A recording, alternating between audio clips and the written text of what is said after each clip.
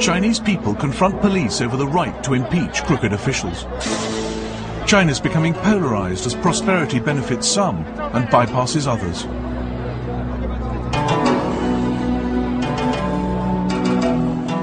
How can people with a grievance negotiate with the state?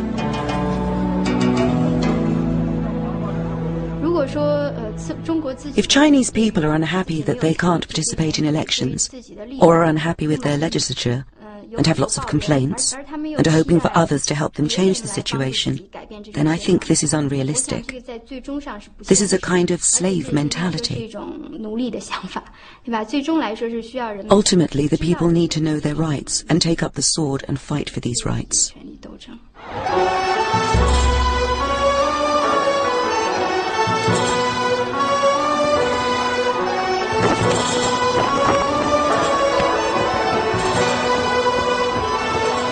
How free are the Chinese people? How free to worship as they please? To learn the truth from the media? To hear the truth from the Communist Party and the government? The main thing is to speak the truth. Why should a nation be drowned in lies? Look, in the days of the emperor, whoever lied to him would be killed for disrespect. But now the liars get promoted as officials, get rich. Now rich people's dogs live better than the peasants. It's no longer a question of how much freedom the people are being granted, but how much they want for themselves. There are new ideas in China some from the intelligentsia, some bubbling up from the grassroots, and some from progressive thinkers in the party itself. Ideas about social justice and the rule of law, about public participation in politics and protecting people's rights. Ideas for building what some call a civil society. 市民社会它要生长。 Civil society is like a seed. As long as it's in the soil, as long as the conditions are right, climate, water and sunshine, then it'll grow. The seed may be weak, but the force of its growth is strong. It needs to grow. You may want to stop it. But the clever leaders will realize that this is a new force. 这是一种新的力量。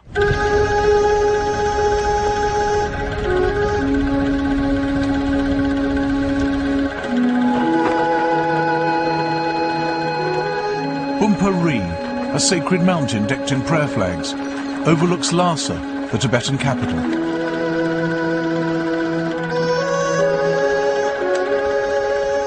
The scraps of paper are called wind horses, sacred texts which ride the wind, bringing good luck.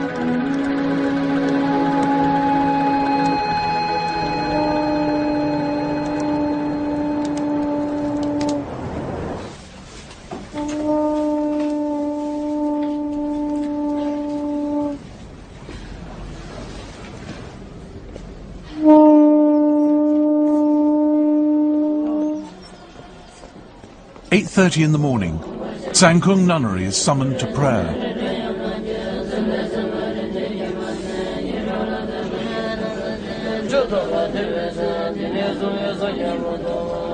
It's a special day.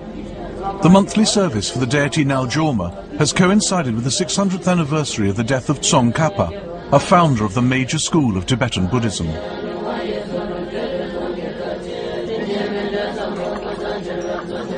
Yak butter tea sustains the nuns during this long winter's day of prayer.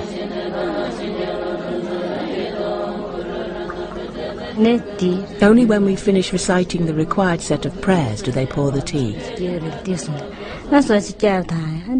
And after it's served, we have to say the tea grace. Only then are we allowed to drink it. And with the weather so cold, we really crave hot tea.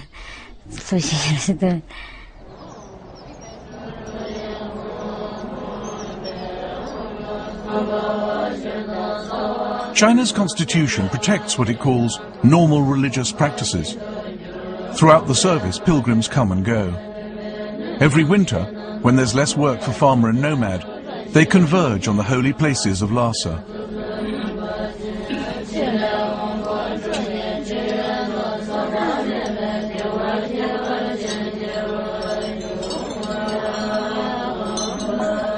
Some have been on the road a year, walking a thousand miles to make donations and pray.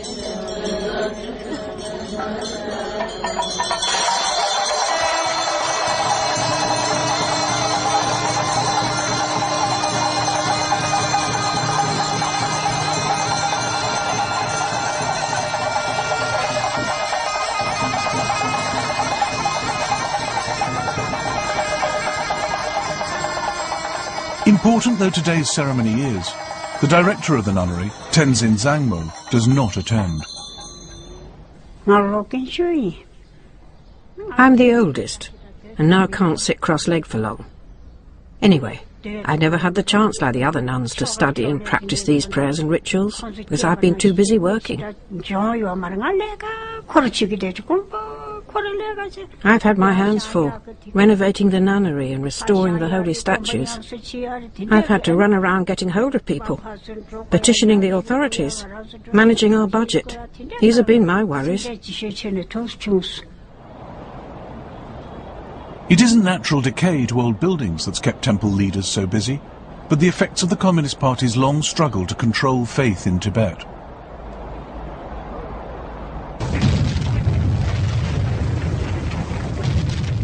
Since Tibet's rebellion against China in 1959, when the Dalai Lama fled into exile, religious buildings have been razed to the ground, monks and nuns imprisoned. And thousands of Tibet's monasteries were devastated in the 1960s during the Cultural Revolution. It was terrifying during the Cultural Revolution because all the sacred objects were destroyed. That wasn't unique to our nunnery. It happened across the country. Nothing was left. Not even a stick of incense.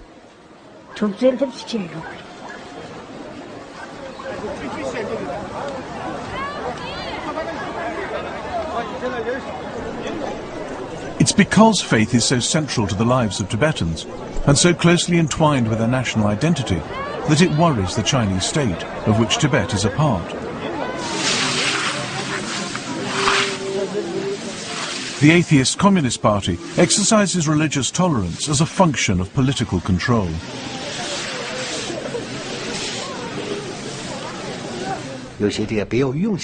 Some people with insidious aims use religion to carry out activities to overthrow, to split China. Such things do happen. So we must heighten our vigilance. We have a strict line on this. The party has a policy of respecting religious freedom. If you go in for religion, your beliefs should be respected and protected.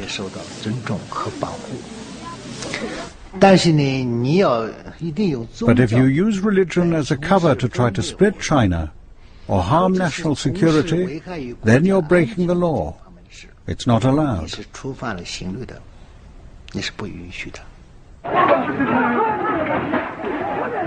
Violent clashes in 1988 between the police and Tibetan monks. Buddhism has been feared as a rallying point and cover for Tibetan independence. Clampdowns have alternated with concessions, tolerance with repression.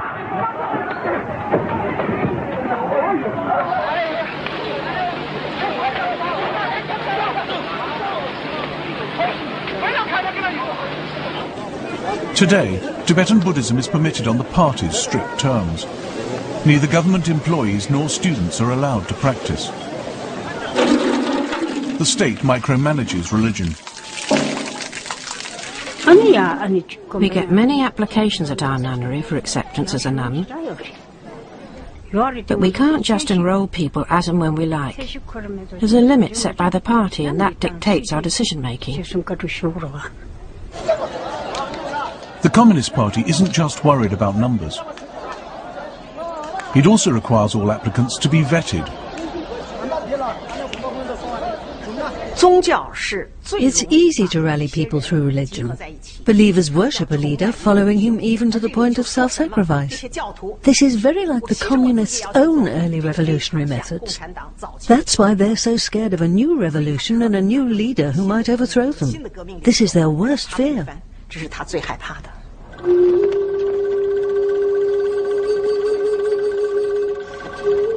There's a spiritual vacuum in Tibet. The Dalai Lama has been away nearly half a century.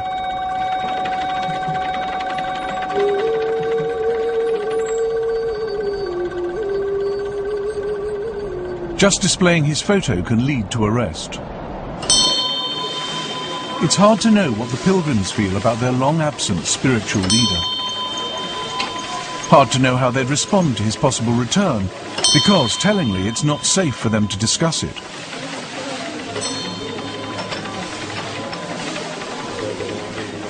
Deputy Governor Nima Tsering believes Tibetans increasingly share the party view. More and more of the people realize what kind of person the Dalai really is. He is false and deceitful. You could say that in recent years profound changes have occurred in Tibet. More and more of the masses realize what kind of person the Dalai is. Draped in the cloak of religion, he tries to promote Tibetan independence.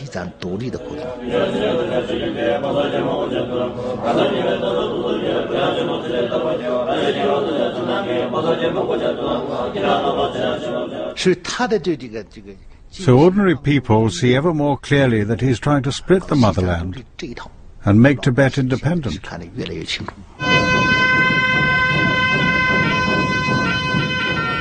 Under the patriotic education policy, monks and nuns must sign a statement renouncing the Dalai Lama and acknowledging Tibet as an integral part of China.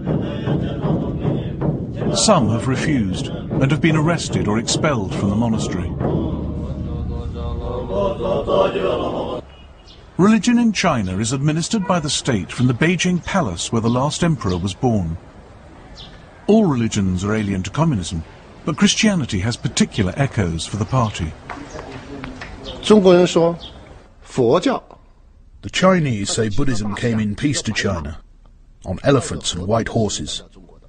But the Christian God came to China riding on a cannonball.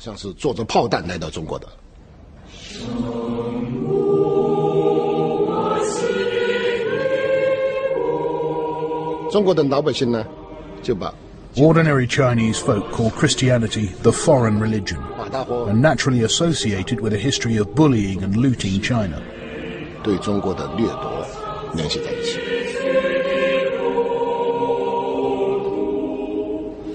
Christianity has been adapted for China, removed of what Ye Xiaowen has called its Western taint.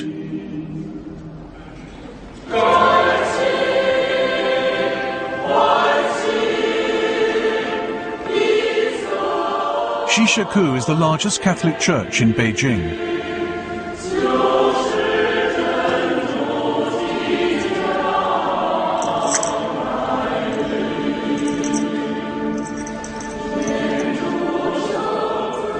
This is Catholicism, but it isn't Orthodox Roman Catholicism.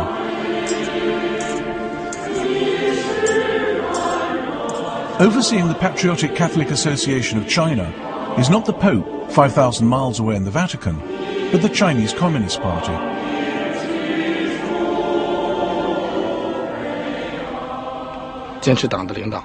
It's the principle of every citizen to uphold the party's leadership. As citizens, we cannot call this into question. They are the ruling party.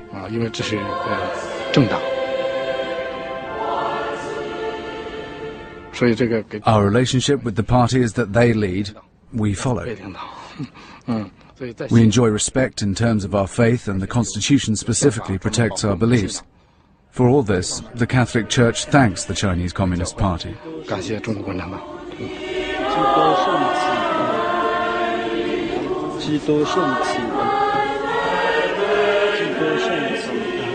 The state limits the number of churches, Catholic and Protestant, approves the appointment and dismissal of clergy, monitors the printing and distribution of Bibles. Perhaps 20 million worship in the officially approved churches, but some Chinese don't want anything between them and their God, least of all the avowedly atheist Communist Party.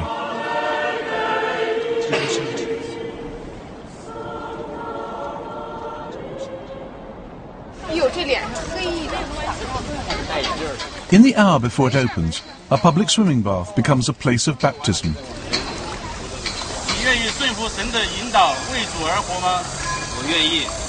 我愿意。现在我奉父子圣灵的名为你施浸，归入基督。This is a rare glimpse into the hidden world of unregistered or house churches in China. Zhang Qianjin is a preacher in the Protestant house church.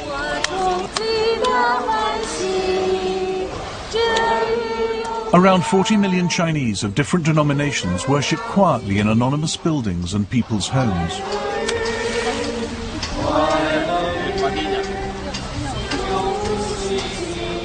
We just read the Bible, study God's words, and worship God together. Why do we have to be managed by a government organization? The Bible tells us we have only one Lord, Jesus Christ. There should not be a secular administrative body that manages the church above the Lord.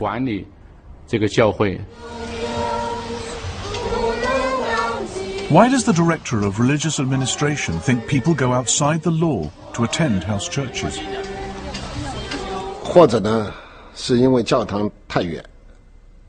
Maybe because the church is too far away, or transport's not good, or because it feels more intimate to worship at home with family. And of course, we can't exclude some very special, complicated reasons. Some people want to make their own sect, form their own team, attract their own believers. This happens. It's not a big problem. Police jostle with believers as the authorities demolish a house church. Local policy is inconsistent. Officials in some places turn a blind eye to the house churches. Elsewhere they are persecuted.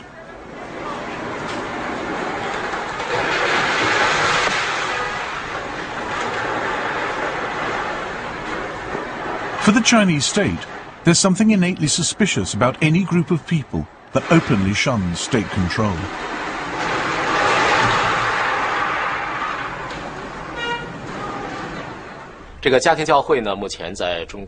Currently, the house churches in China are indeed developing very quickly. I have misgivings about this. My main reason for being anxious is not because they're evangelizing. I have no problem with evangelizing. But I'm anxious about the fact that some evangelists, in their work, violate the teachings of the Bible. They add things in and say, overthrow the Chinese government, overthrow the Chinese Communist Party. They adopt a disdainful attitude to Chinese culture. The Chinese people would say to them, You're insulting my ancestors.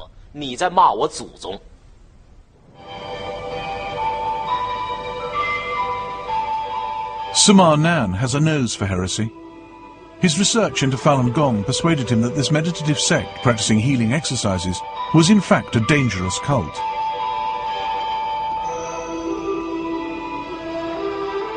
Its threat seemed confirmed in 1999 when 10,000 Falun Gong practitioners from across China suddenly appeared on the pavement outside party headquarters in Beijing. Their protest for recognition was silent and peaceful, but this power to mobilize the masses put the wind up the party. The Falun Gong leader seemed to challenge the party's monopoly of the truth. Sima Nan branded him an evil cult boss. Society is full of unstable elements. If these are stirred up, then it'll be the ordinary people who suffer. When that happens, it means frauds like the Falun Gong leader have succeeded. So we banned it. We don't let ordinary folk suffer. And we don't let the bad guys succeed in their conspiracies. This is what we have to do.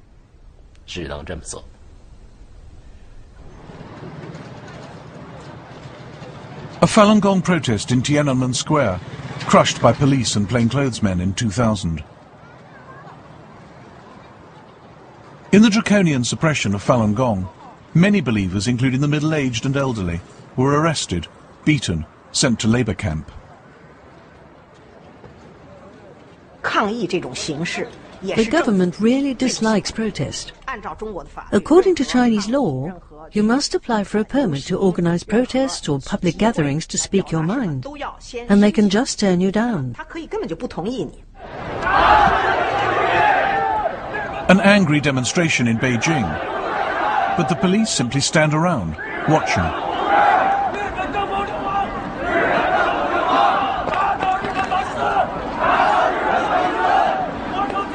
It all depends on who is protesting, about what. Irritated by Japanese claims over some disputed islands, the Chinese government allows a group of nationalists to harangue the Japanese embassy.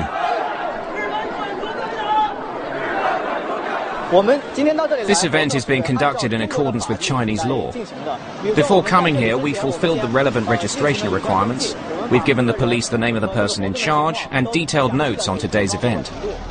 We then came to the area assigned by the police to carry out our demonstration. Vital to the protest's effectiveness is the presence of another key group of players in China. The media.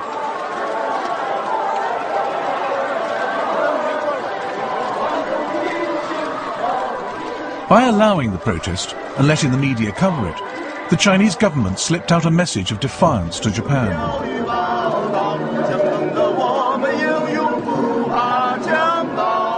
Managing the media has always been a priority for the Communist Party.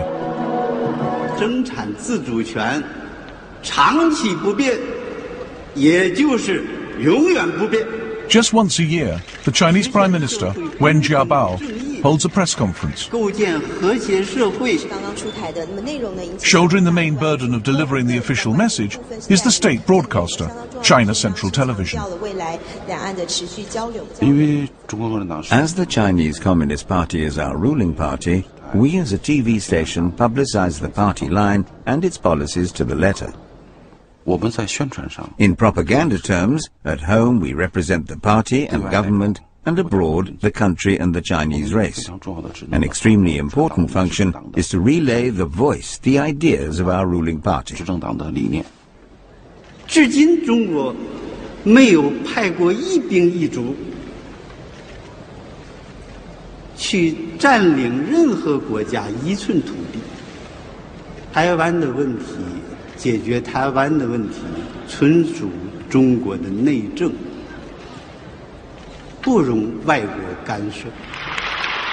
The Prime Minister's defiant stand on Taiwan brings a loyal round of applause from the press. But there's more to the media in China than deference and propaganda.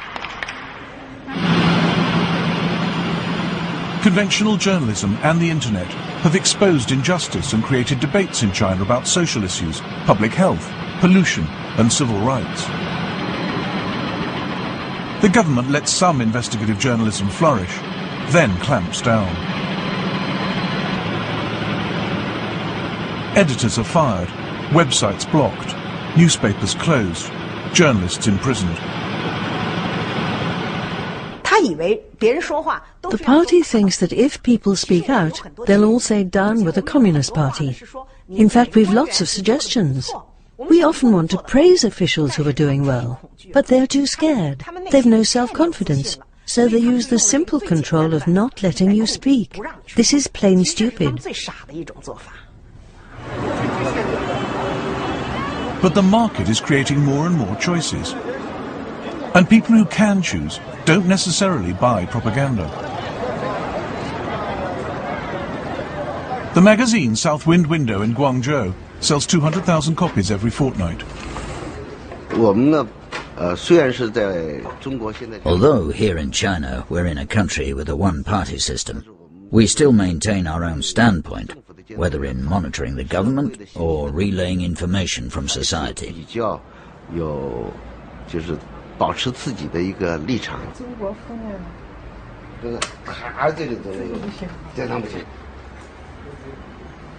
Our magazine carries lots of stories reflecting what we call the base of society. This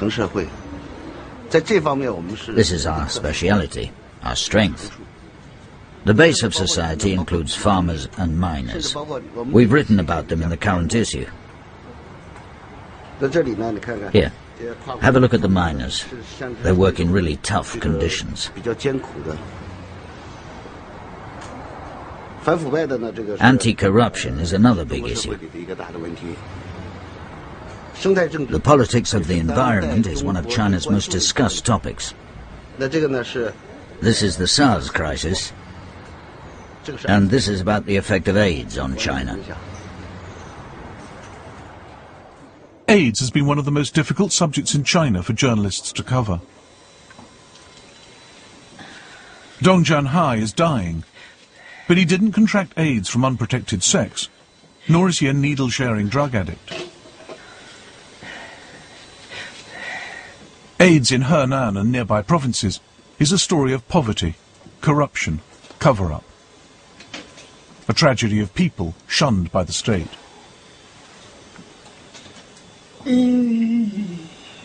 我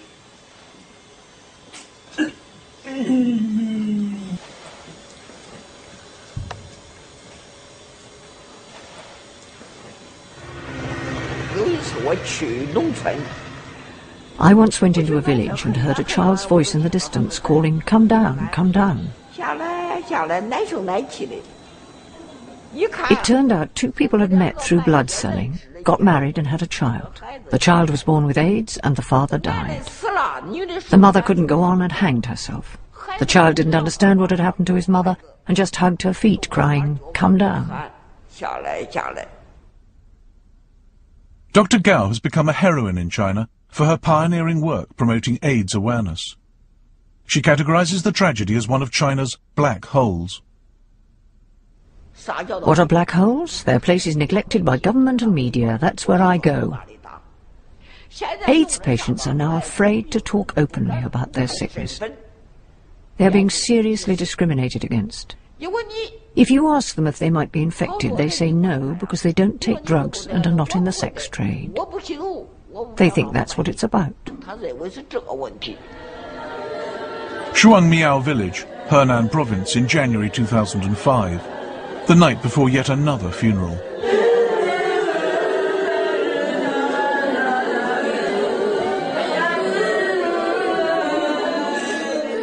Yang Guixiang strokes the photo of her deceased husband, Zhu Jinzhong, propped up against his coffin.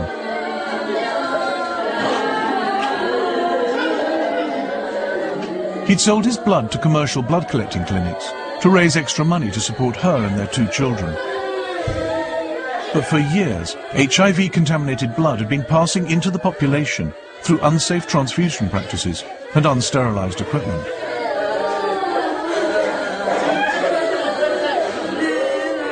What makes Yang Guixiang's grief so poignant is that her husband's death, like the deaths of thousands in Henan province, was avoidable. Some officials knew the blood collection procedures were spreading disease, but kept quiet.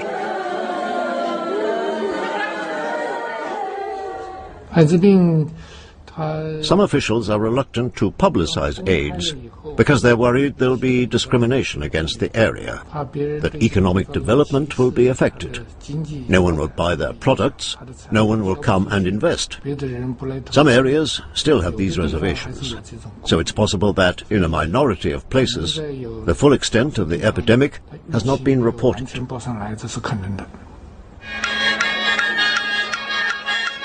The next day, people flocked to Zhu Jinzhong's funeral.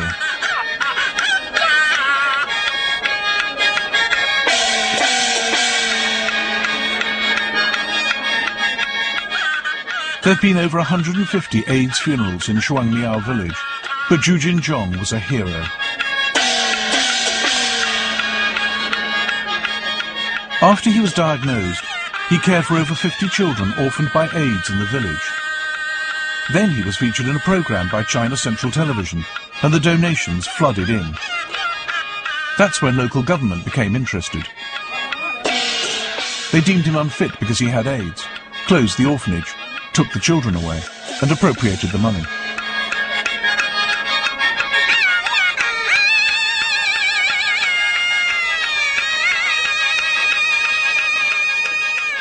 Official figures say 69,000 have contracted AIDS from blood selling.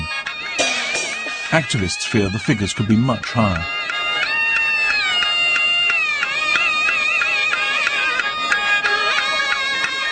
A third of mothers with HIV from blood selling in Henan are passing it on to their babies. And by covering up the problem, officials ensured AIDS would claim still more victims. I've known people who sold blood before 1996 and were infected. But in 97 and 98 they were still being invited back to hospital to donate their blood for transfusions. The problem was the local doctors didn't know there was AIDS in the area so the disease was still being spread. Central government is belatedly putting in resources and support. But some local officials have embezzled money, blankets and food intended for victims. They chase away doctors and journalists from AIDS villages. And although unsafe blood collection practices were made illegal in 1996, Dr. Gao is sure the lethal trade continues. Those officials who encourage blood selling should be locked up, even executed. Look, we've had a blood transfusion law for 10 years. How can they still encourage the illegal blood trade? What are these vampires doing in power? Why are they still alive?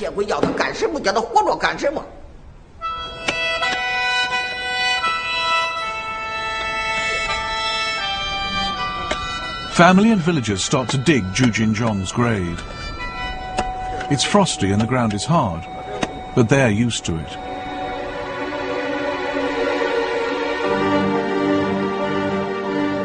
The frustration of AIDS victims at inadequate medical care and government indifference has led to violent clashes.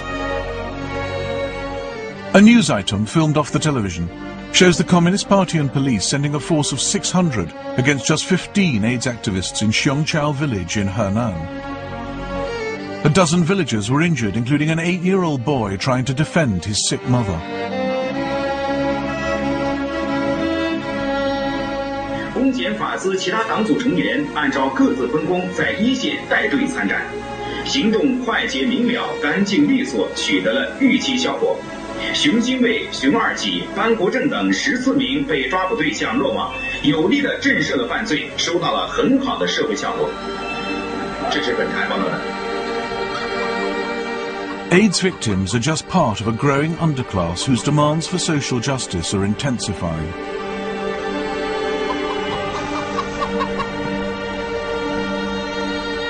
There's a deep gulf between rich and poor, with most of the poor in the countryside.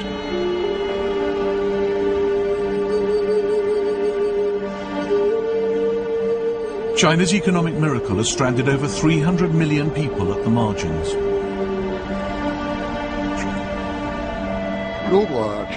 If this inequality persists in the long term, and if people continue to be marginalized, then of course it's worrying.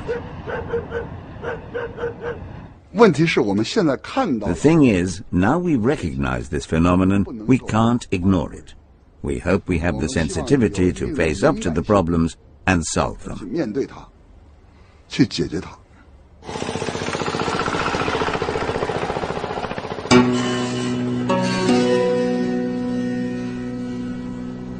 A group of farmers in Tibet measure what's left of their fields after construction of the new railway linking Lhasa to the rest of China.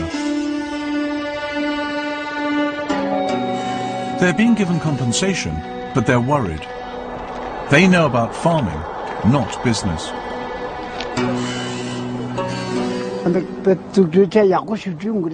They say the construction will be very good for Tibet's development. As for the fields, there's been immeasurable loss. It's hard to say if it's been good, sir, because our very livelihood is in these fields.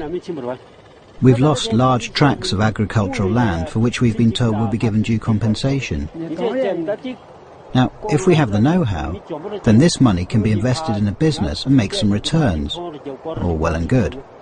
But if that doesn't happen, and the money is used up for short-term needs, then that could mean bankruptcy for later generations. It's hard to see this as a good thing. The land may not be that fertile, but at least it gives us food year in, year out.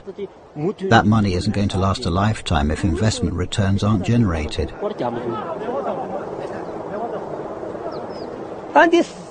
If you're good with money and do well, it'll be fine. If you don't spend it wisely, then you'll become a beggar for sure.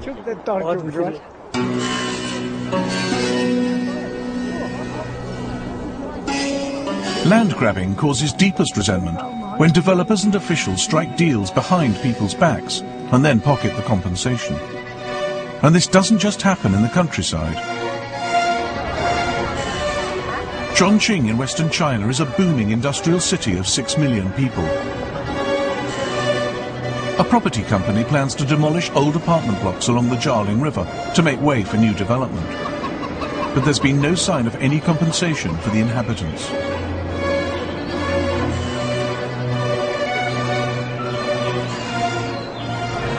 They put up a poster appealing to municipal government for help. Since when? Silence. The community fears that officials are on the developers' side, not theirs. The government's money didn't reach the people, it was eaten up by the company. That's what the poster means.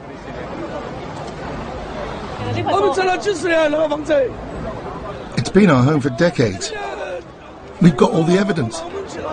Now the government's going to knock it down.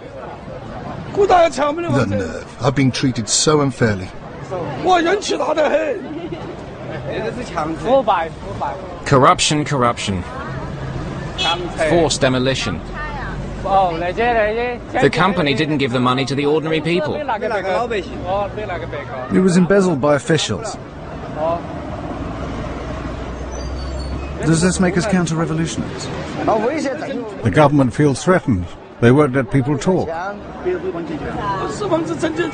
It's my home. We haven't seen a penny. They exploit us, the working people. There's no other country in the world like this.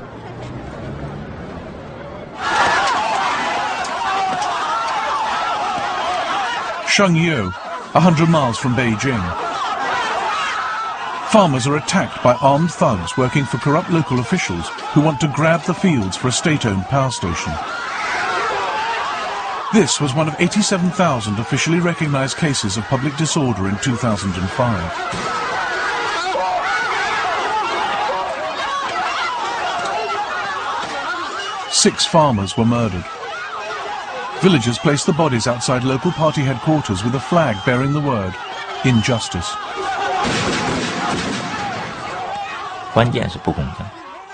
The key problem is injustice. An unjust society lacks both a moral foundation and political legitimacy, so there's nothing to hold it together. It's as if all 1.3 billion of us are making a cake together. When it's baked, will the slice I get meet my minimum requirements? If it can't even do that, then society is in danger. So for China's political stability, justice is extremely important.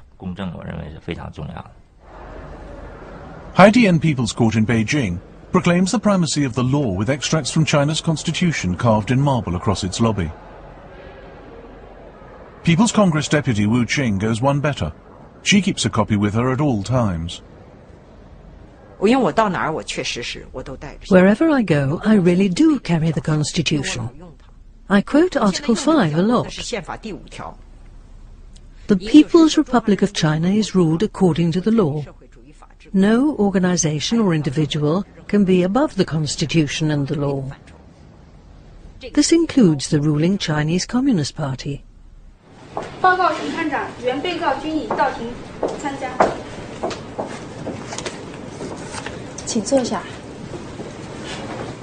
A judge in Jiangsu province is hearing a dispute over obstructed access to natural light. 这也比较清楚了。那么今天呢，安排调解一次，呃，希望大家实事求是啊，本着解决问题的这个诚意，把矛盾解决掉。When I was young, I always respected judges. Just as I was finishing middle school, our country was going through legal reform. So the court needed lots of people. I came to work as clerk of the court and worked my way up. Some judges started off as caretakers or cleaners in the court but now qualifications are needed. Even so, in 2005, 49% of judges still had no college degree. I haven't reached a high standard, a scholarly standard. I also feel that I haven't fully mastered some of the new laws and regulations. That's why it's so necessary for us to study. Whom does Wu Ping feel she is serving in her judge's robes? I am a judge. At the same time, I am also a Communist Party member. So as a Communist Party member, I must do my duty. I work for the people, and I am their servant. All positions in the courts are controlled by the Communist Party. So it's impossible for the courts to be free from the control of the party. Our court has always heard cases independently. No party or government organizations have ever interfered. But party officials often decide major cases in advance. And courts rarely take on tough ones, like those brought by victims of pollution, dispossession, corruption, cases of abuse by the authorities. The independence of the judiciary is now most urgent. If a judge knows that the result of taking on a case is that he'll be punished by city leaders and that he'll lose his job and his comfortable lifestyle over it, then we would effectively be asking him to sacrifice himself. Can we ask him to make this sacrifice? If someone did it off his own bat, I'd think he was a great man. But it's hard for us to encourage a judge to sacrifice himself.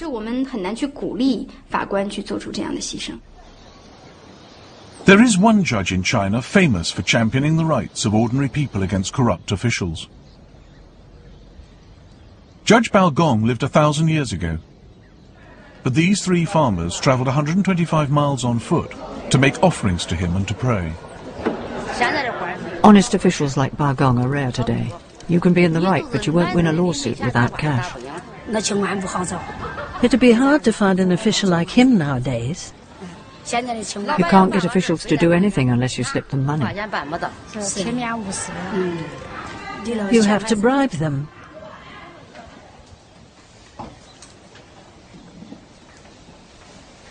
The only land we've got now is a pumpkin patch. The rest was taken, but the money was not passed on to us. Local officials are corrupt. They care only about themselves, not about us.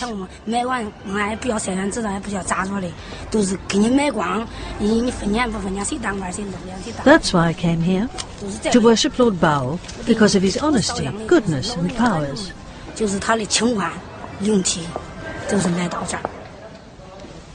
Who else can we turn to in order to express the unfairness of our lives?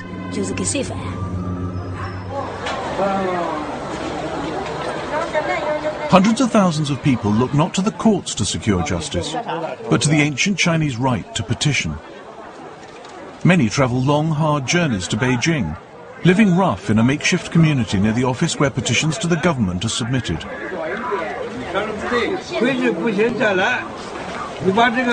这里是福音的邮底了啊。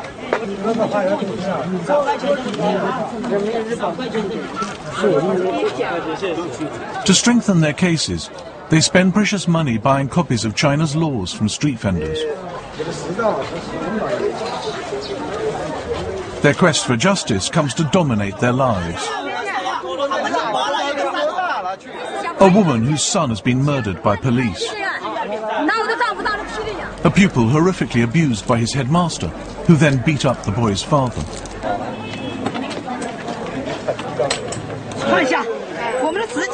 A mother whose son has been executed and is being denied access to his body for burial. Many become frustrated and disillusioned. In 2005, the Chinese authorities admitted that 80% of petitioners' cases are legitimate.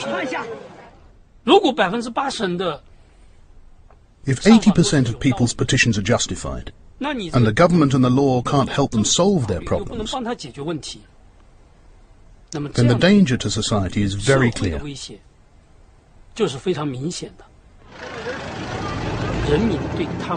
The people don't trust their local governments.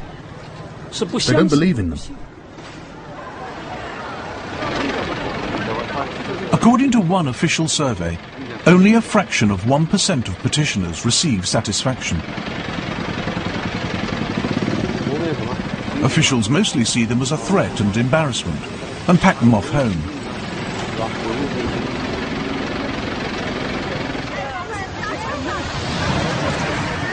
One Communist Party headquarters in Henan province has spelt out its attitude to petitioners on the wall opposite.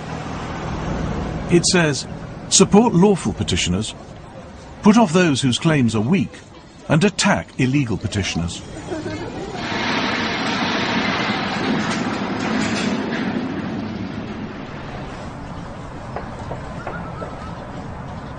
China has a complete punishment system devoted to re-education through labour. The women in this model camp outside Beijing have had no trial or legal defence, but have simply been sentenced in a police station for up to four years in labour camp. Their offences have involved drugs or sex or property, and some have caused what are called social disturbances.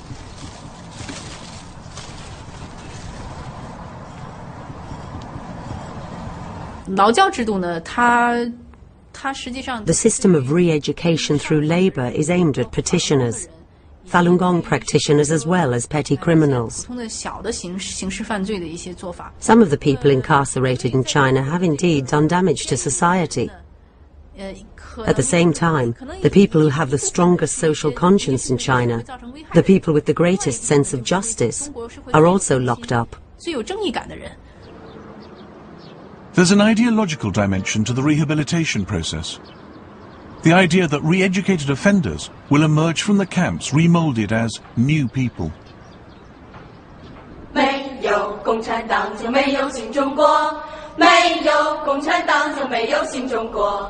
共产党他知道为民族，共产党他一心救中国，他几个人几个人的道路，他领导中国走向光明，他继续他在八年多才改善人民生活，先决的后坚决的他实现的不好民主多。没有共产党就没有新中国，没有共产党就没有新中国。There is talk about reforming the re-education through labour system, but new camps are being built alongside this one. Progressive people in the party have no illusions about the divisive problems facing China and know that, after years of boom, fresh answers are needed. Economic growth alone cannot solve our increasingly serious social problems cannot stop the polarization of society or narrow the rich-poor divide. Pure economic growth cannot solve our problems of political reform. If our political reform can't keep up, then the faster the economy develops, the more political problems there are likely to be. At the National People's Congress in 2006, the Prime Minister, Wen Jiabao, acknowledged the problems facing China's rural population. 看病难、看病贵和上学难、上学贵等问题突出，群众反映比较强烈。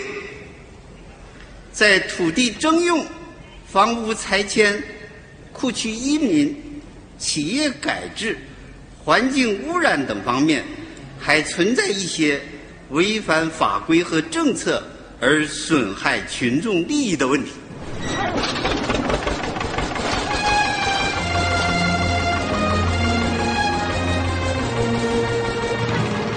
The party's answer is to build what it calls a new socialist countryside. There'll be free education, improved healthcare, no agricultural tax, and an extra £3.2 billion invested.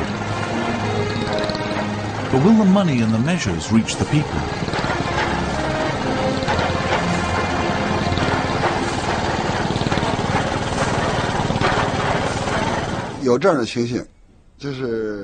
There are cases where good policy from the center is not correctly implemented at local level.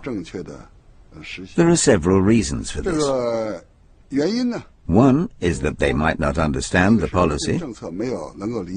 Another is they may find that the policy doesn't suit local interests. The third is the problem of individual morality. There's corruption among individuals implementing policy from the center. This includes some high-ranking officials.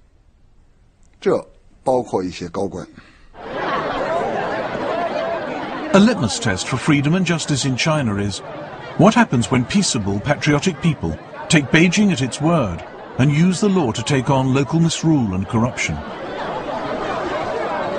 当我们讲市民社会的时候，我们会想到 when we talk about civil society, we think of each individual, each member of society having their rights. By exercising these rights, they can limit the power of the state. Taishi village in Guangdong province is in a development zone. The soil is fertile, but its 2,000 villages have been getting poorer, not richer. Their land's been grabbed for industry, with local officials pocketing some of the compensation. But the people of Taishi invoked the law to oust the village committee. A film was made to record the events for posterity.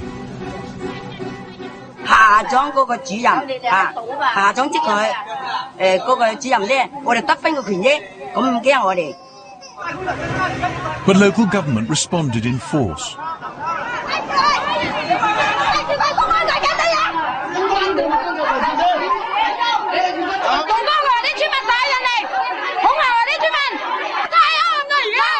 么呀？咱蒙蒙屋的，咱俩叫个抬出来，快快抬出来！唔好意思，唔好，咁打交，我哋一定唔好闹佢，同佢讲道理，做翻文明嘅态，十村民，讲文明社会，唔好我哋执，好似执法者咁执，揾个执法者就可以动用暴力。Hundreds of riot police swarmed over Taisha. They stole the account books containing evidence of the headman's wrongdoing.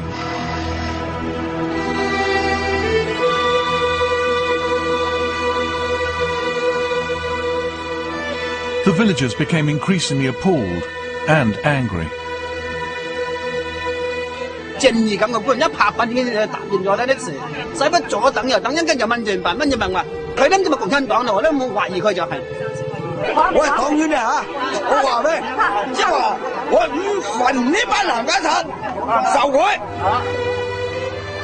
Many villagers, including the elderly, were beaten and arrested.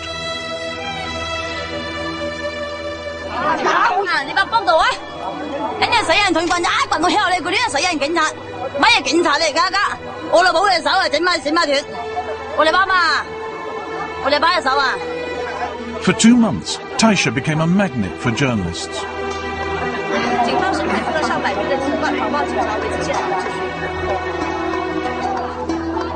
Some took the side of local government. Others were gripped by the story of ordinary people invoking the law against corrupt officials.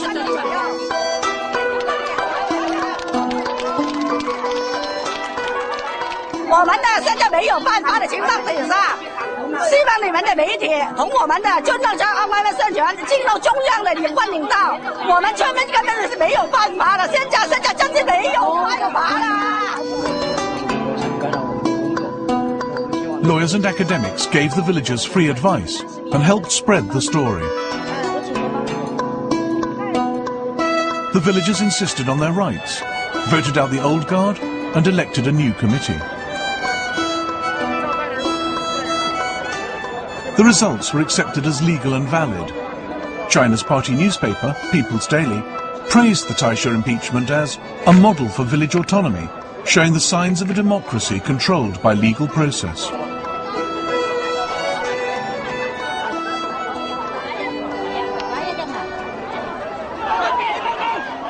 But then, local government moved police and thugs back into the village to reassert its authority. Supportive, sympathetic outsiders were chased away, or, like this People's Congress deputy, removed by force. The last thing the authorities want is for anyone to join up the dots between disaffected people across China.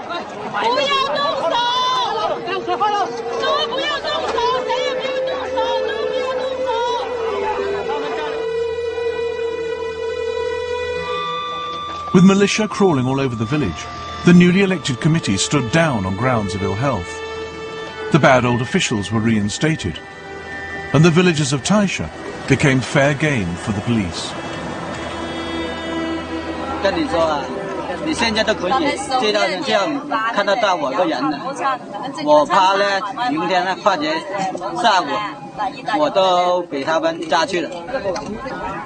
啊，我都不知道防什么法，反正他们家家人了，没有什么防法。他没办法，那些那些警察吗？那些派警察乱抓人，办法办法就要抓啦，没办法要抓。我跟谁呀？谁呀？翻我太就村嘅自由，好冇？唔係真係我太就村個村民，真係係晒佢手頭咧。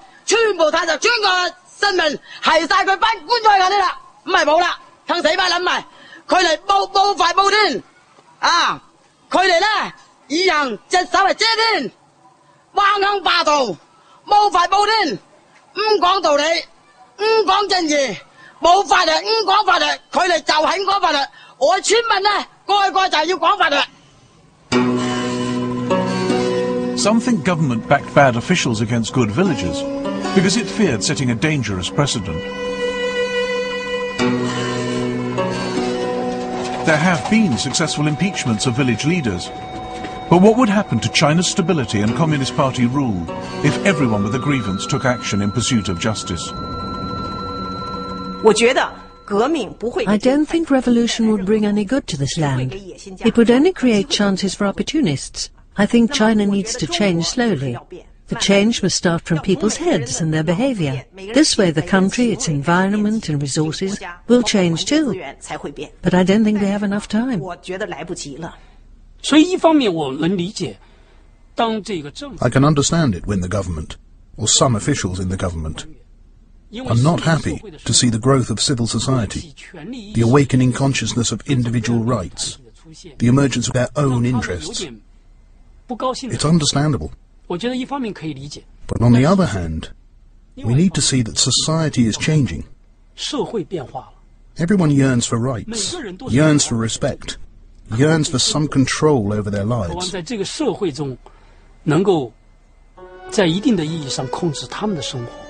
When the conditions are right, everyone will make these demands.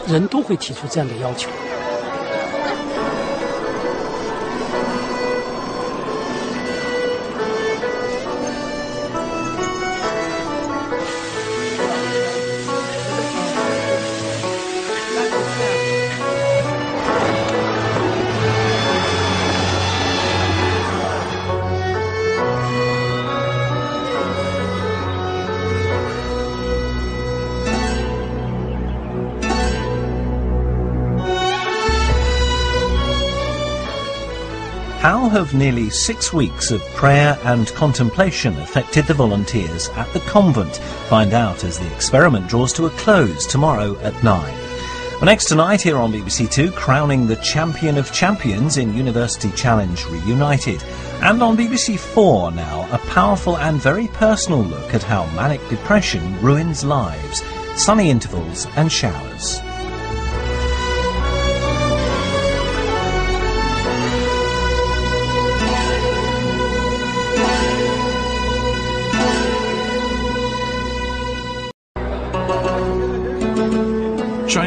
People confront police over the right to impeach crooked officials.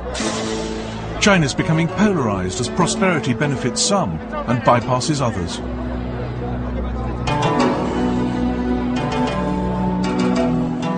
How can people with a grievance negotiate with the state?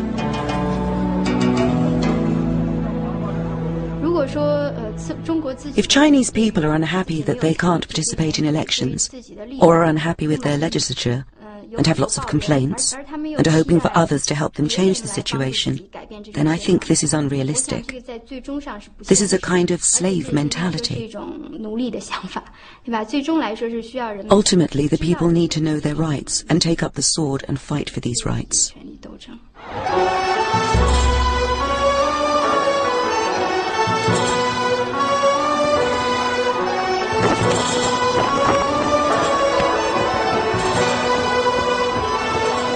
How free are the Chinese people? How free to worship as they please? To learn the truth from the media? To hear the truth from the Communist Party and the government? The main thing is to speak the truth. Why should a nation be drowned in lies? Look, in the days of the emperor, whoever lied to him would be killed for disrespect. But now the liars get promoted as officials, get rich. Now rich people's dogs live better than the peasants. It's no longer a question of how much freedom the people are being granted, but how much they want for themselves. There are new ideas in China some from the intelligentsia, some bubbling up from the grassroots, and some from progressive thinkers in the party itself. Ideas about social justice and the rule of law, about public participation in politics and protecting people's rights. Ideas for building what some call a civil society.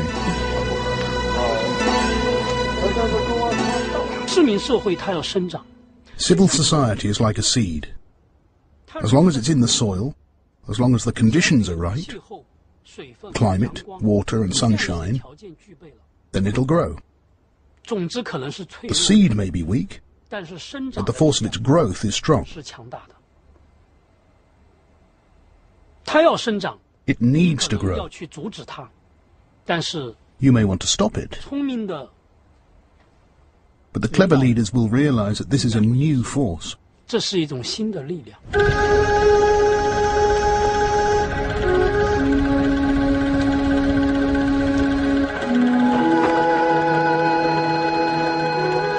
Bumpa Ri, a sacred mountain decked in prayer flags, overlooks Lhasa, the Tibetan capital.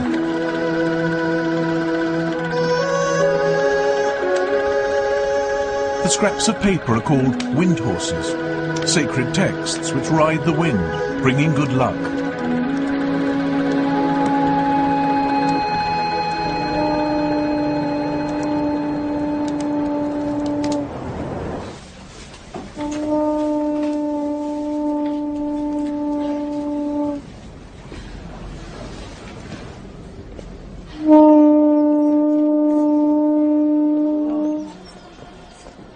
Eight thirty in the morning, Zangkung Nunnery is summoned to prayer.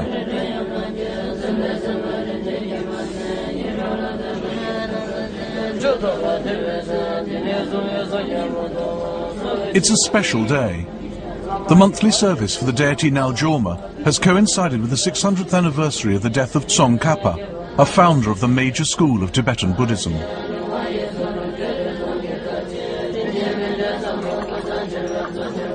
Yak butter tea sustains the nuns during this long winter's day of prayer.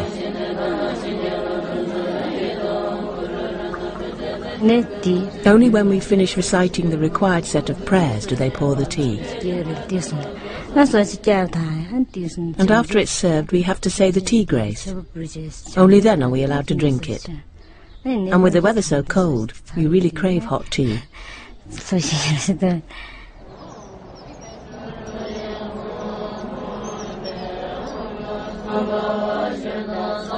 China's constitution protects what it calls normal religious practices. Throughout the service, pilgrims come and go. Every winter, when there's less work for farmer and nomad, they converge on the holy places of Lhasa.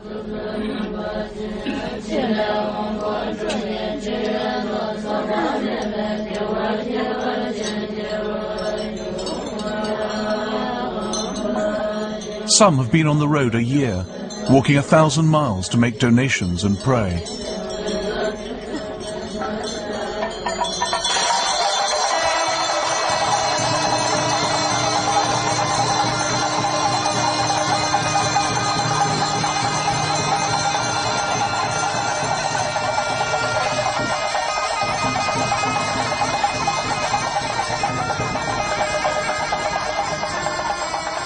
Important though today's ceremony is, the director of the nunnery, Tenzin Zangmo, does not attend. I'm the oldest, and now can't sit cross-legged for long. Anyway, I never had the chance like the other nuns to study and practice these prayers and rituals, because I've been too busy working. I've had my hands full, renovating the nunnery and restoring the holy statues. I've had to run around getting hold of people, petitioning the authorities, managing our budget. These have been my worries.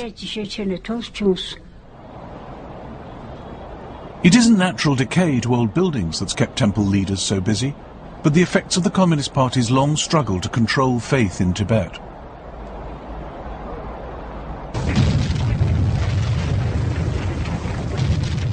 Since Tibet's rebellion against China in 1959, when the Dalai Lama fled into exile, religious buildings have been razed to the ground, monks and nuns imprisoned. And thousands of Tibet's monasteries were devastated in the 1960s during the Cultural Revolution. It was terrifying during the Cultural Revolution because all the sacred objects were destroyed. That wasn't unique to our nunnery. It happened across the country. Nothing was left. Not even a stick of incense.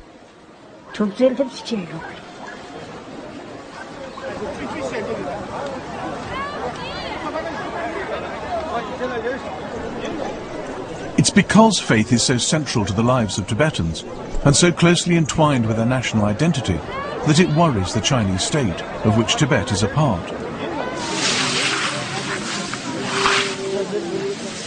The atheist Communist Party exercises religious tolerance as a function of political control.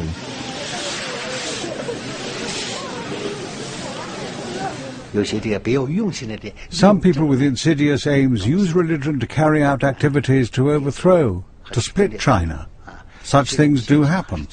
So we must heighten our vigilance.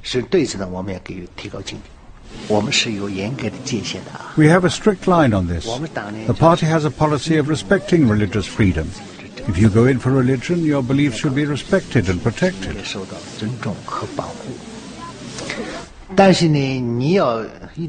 But if you use religion as a cover to try to split China or harm national security, then you're breaking the law. It's not allowed.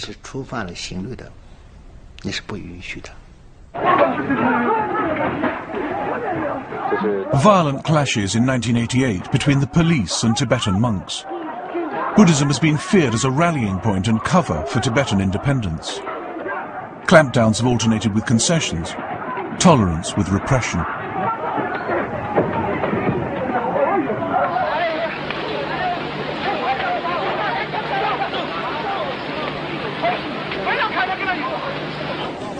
Today, Tibetan Buddhism is permitted on the party's strict terms.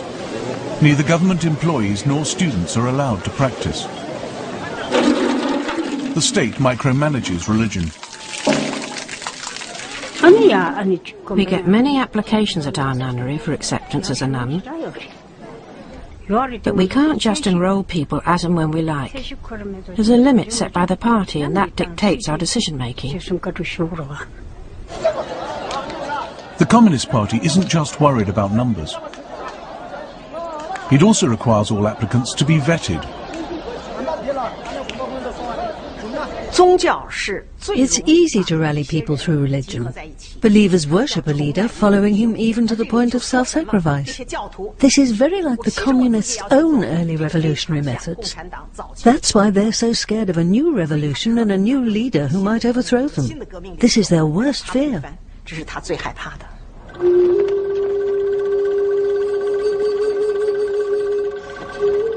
There's a spiritual vacuum in Tibet. The Dalai Lama has been away nearly half a century.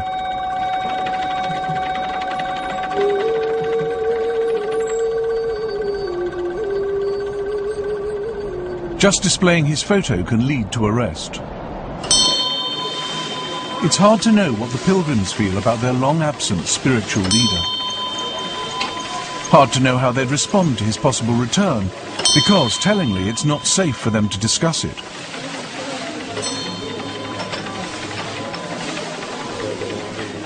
Deputy Governor Nima Tsering believes Tibetans increasingly share the party view. More and more of the people realize what kind of person the Dalai really is. He is false and deceitful. You could say that in recent years profound changes have occurred in Tibet. More and more of the masses realize what kind of person the Dalai is.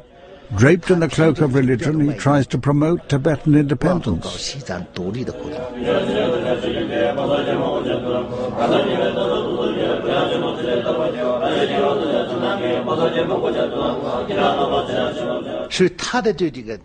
So ordinary people see ever more clearly that he is trying to split the motherland and make Tibet independent.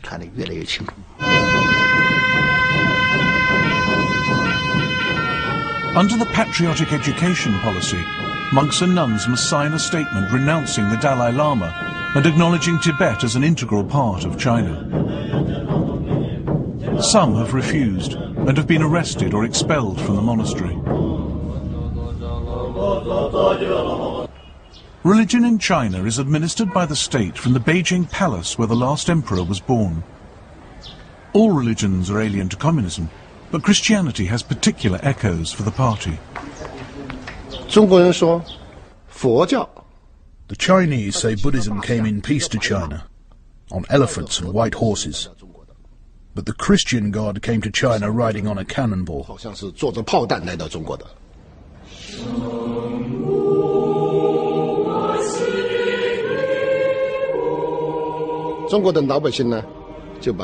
Ordinary Chinese folk call Christianity the foreign religion and naturally associated with a history of bullying and looting China.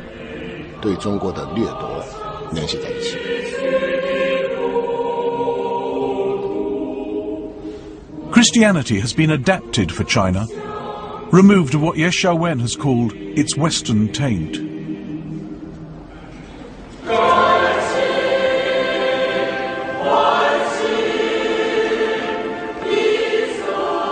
Xishiku is the largest Catholic church in Beijing.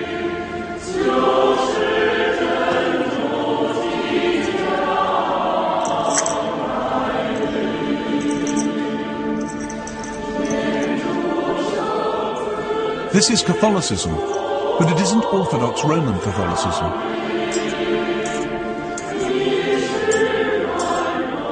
Overseeing the Patriotic Catholic Association of China is not the Pope, 5,000 miles away in the Vatican, but the Chinese Communist Party.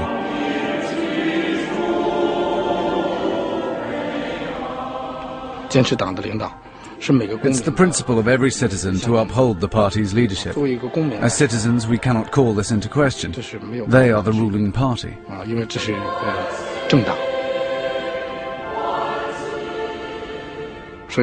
Our relationship with the party is that they lead, we follow.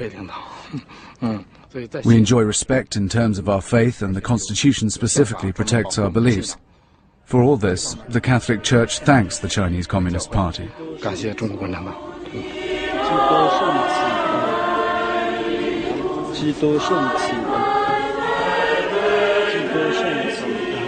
The state limits the number of churches, Catholic and Protestant, approves the appointment and dismissal of clergy, monitors the printing and distribution of Bibles. Perhaps 20 million worship in the officially approved churches, but some Chinese don't want anything between them and their God, least of all the avowedly atheist Communist Party.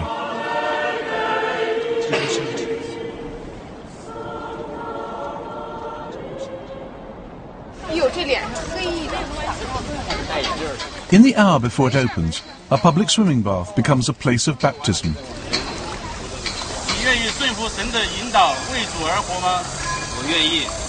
现在我奉父子圣灵的名，为你施浸，归如基督。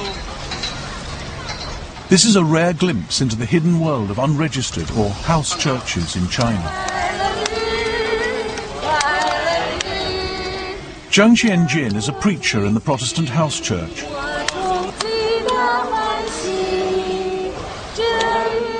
Around 40 million Chinese of different denominations worship quietly in anonymous buildings and people's homes.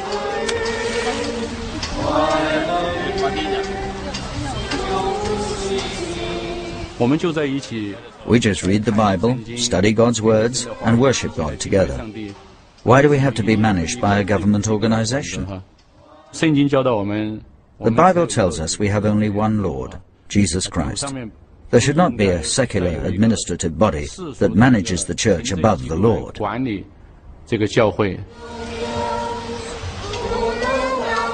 Why does the Director of Religious Administration think people go outside the law to attend house churches?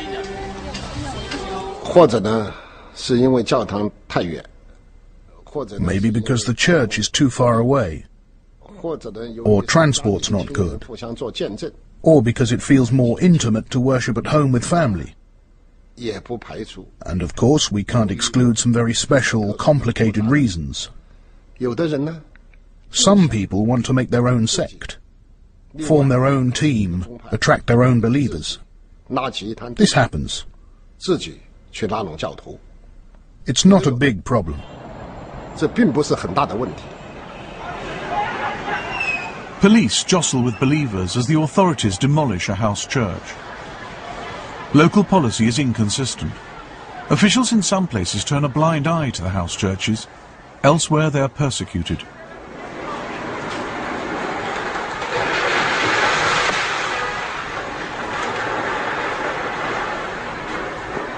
For the Chinese state, there's something innately suspicious about any group of people that openly shuns state control.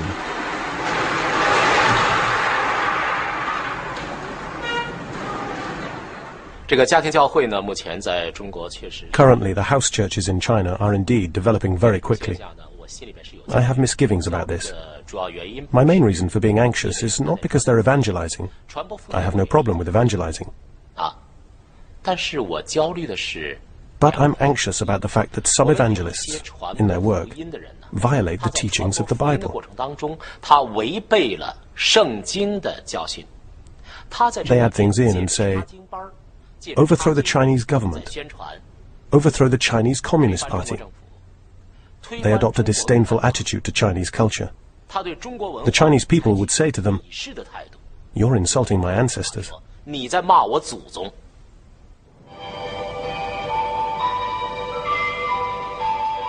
Sima Nan has a nose for heresy. His research into Falun Gong persuaded him that this meditative sect practicing healing exercises was in fact a dangerous cult.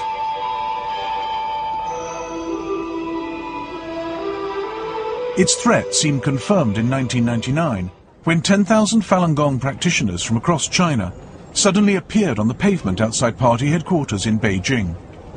Their protest for recognition was silent and peaceful, but this power to mobilize the masses put the wind up the party. The Falun Gong leader seemed to challenge the party's monopoly of the truth. Sima Nan branded him an evil cult boss. Society is full of unstable elements. If these are stirred up, then it'll be the ordinary people who suffer. When that happens, it means frauds like the Falun Gong leader have succeeded. So we banned it. We don't let ordinary folk suffer. And we don't let the bad guys succeed in their conspiracies. This is what we have to do.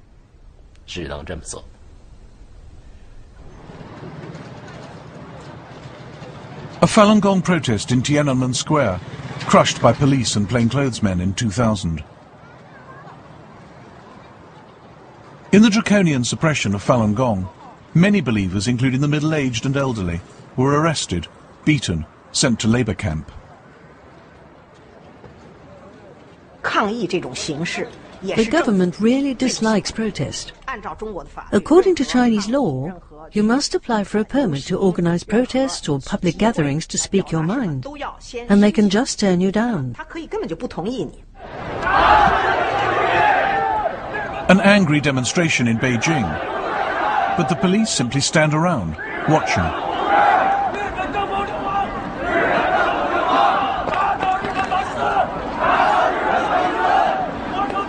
It all depends on who is protesting, about what. Irritated by Japanese claims over some disputed islands, the Chinese government allows a group of nationalists to harangue the Japanese embassy.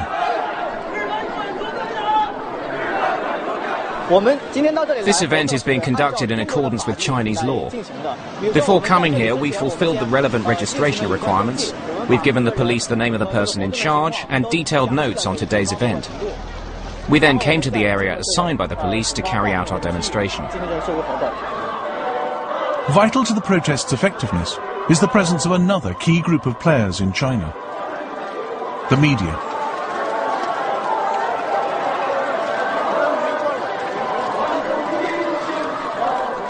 By allowing the protest and letting the media cover it, the Chinese government slipped out a message of defiance to Japan.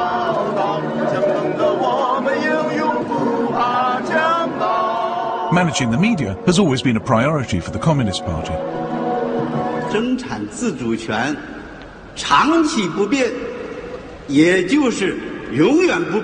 Just once a year, the Chinese Prime Minister, Wen Jiabao, holds a press conference. Shouldering the main burden of delivering the official message is the state broadcaster, China Central Television. As the Chinese Communist Party is our ruling party, we as a TV station publicize the party line and its policies to the letter. In propaganda terms, at home we represent the party and government and abroad the country and the Chinese race. An extremely important function is to relay the voice, the ideas of our ruling party. 至今，中国没有派过一兵一卒去占领任何国家一寸土地。台湾的问题，解决台湾的问题，纯属中国的内政。